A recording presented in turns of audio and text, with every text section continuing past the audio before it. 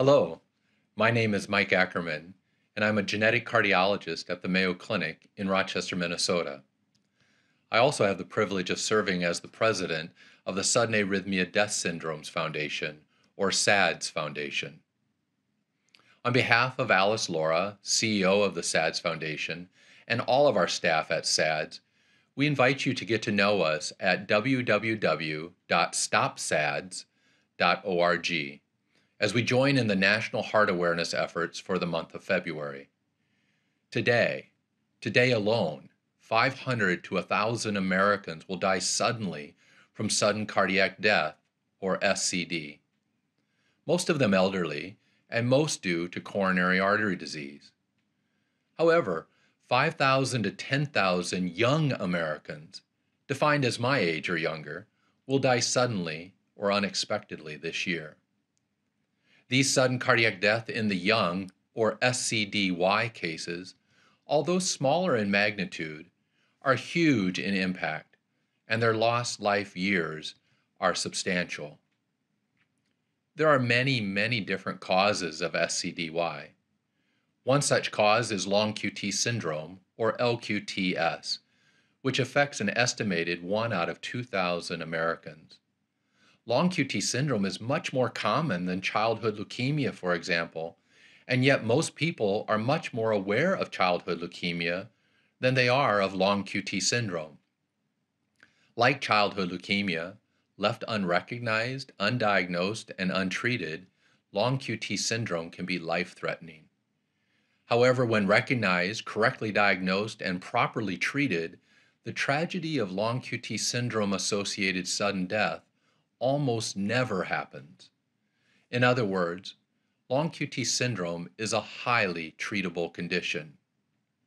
During this American Heart Month of February, the SADS Foundation would like to remind you of three important questions to ask and answer as we look for warning signs for long QT syndrome and some of the other causes of SCDY. Question number one Have you ever fainted suddenly, abruptly, without much warning, or had a sudden generalized seizure without much warning that occurred during exercise or when suddenly startled by an auditory trigger? If you had this kind of faint, this potentially danger faint, let your healthcare provider know.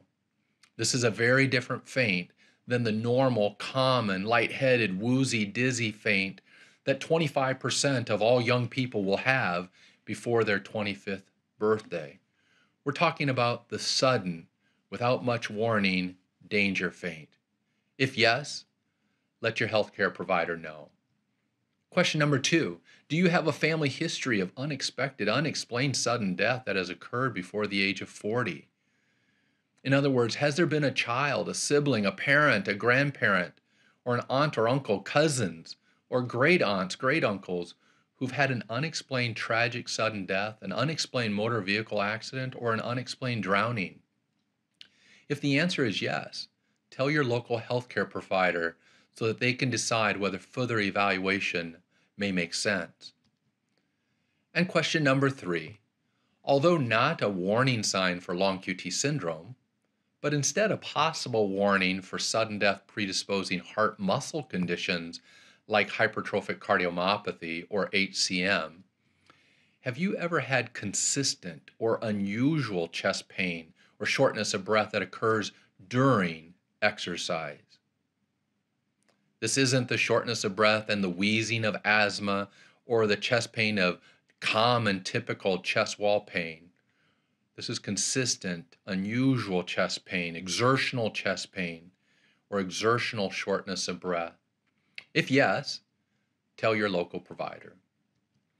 If you have answered yes to any or all of these sudden death warning sign questions, let your healthcare provider know to determine whether or not you should be seen by a cardiologist for further evaluation.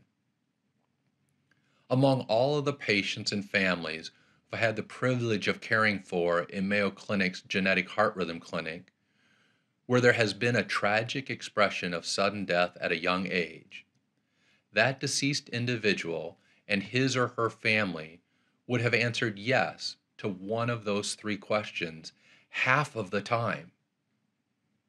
We know that if we can do a better job at recognizing the warning signs for sudden cardiac death in the young and acting on those warnings, we can save lives.